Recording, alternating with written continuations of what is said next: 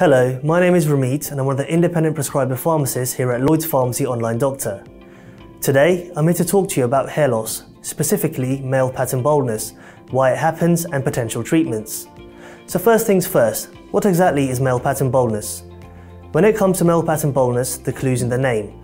It's a pattern of hair loss that men often experience.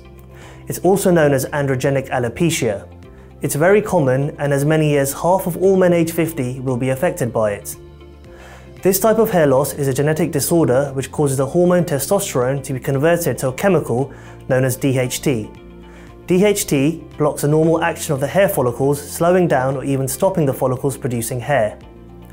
Usually, male pattern baldness begins with a receding hairline, following by thinning of the hair on the crown and temples until the bald patches meet.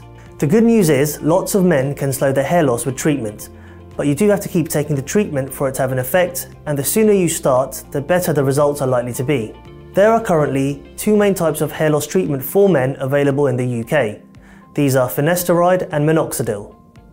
Finasteride, sometimes known as its branded name Propecia, is a prescription-only hair loss treatment. It comes as a tablet and should be taken every day with no breaks. It works by reducing the levels of DHT and slowing the conversion of testosterone to DHT which helps to stop the hair falling out. Finasteride can only be taken by men suffering from male pattern baldness. It is not suitable for women or for anyone suffering any other types of hair loss. The effectiveness of finasteride often depends on the length of time it's taken, but the evidence available suggests that 90% of men who use it see their hair loss improve, while two-thirds will benefit from renewed hair growth.